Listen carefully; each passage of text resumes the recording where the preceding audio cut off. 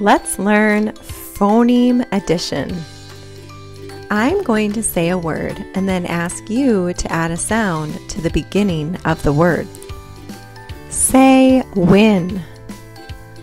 Add the t sound to the beginning of the word win.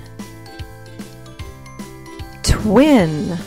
So we added the t sound to win and we got twin. Say red. Add sh to the beginning. Shred. Say love. Add g to the beginning. Glove. Say lock. Add f to the beginning. Flock. Say rink. Add d to the beginning. Drink. Say rose. Add f to the beginning. Froze. Say eat.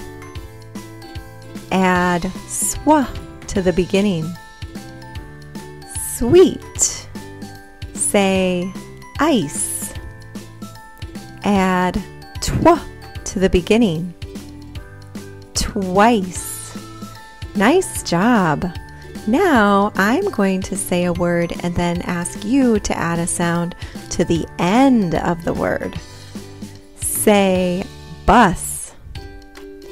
Add t to the end of bus. Bust. So we added the t sound to the end of bus and we got bust. Say arm. Add e to the end of arm. Army. Say tree. Add t to the end of tree. Treat.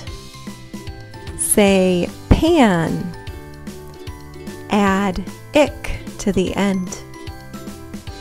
Panic. Say bell. Add t to the end. Belt. Say pin. Add ch to the end. Pinch. Say chess. Add t to the end. Chest. Great work. You just did important phonemic awareness work, and research says that phonemic awareness helps us grow into strong readers.